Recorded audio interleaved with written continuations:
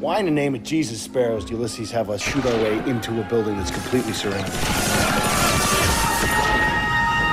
That's why he's the boss, Big Ed. And you're not.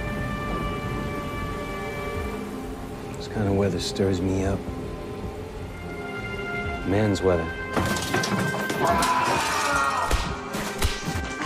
Don't you mention my son. Look what you've done! Look what you've done! You've always been a terrible man.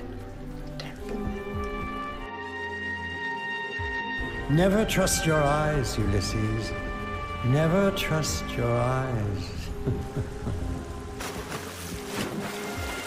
Just one more night.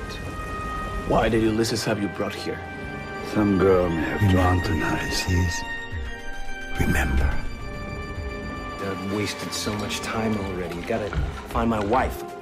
I'm coming, Hyacinth. So many locked doors. And they all have to be opened. Ulysses is coming. He's in the house. He's come back to save you. And I think he may have an even stronger need to kill you. Is he alive enough to do that?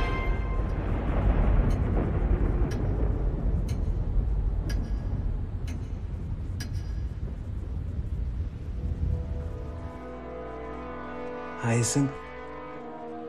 Are you there? Why have you come?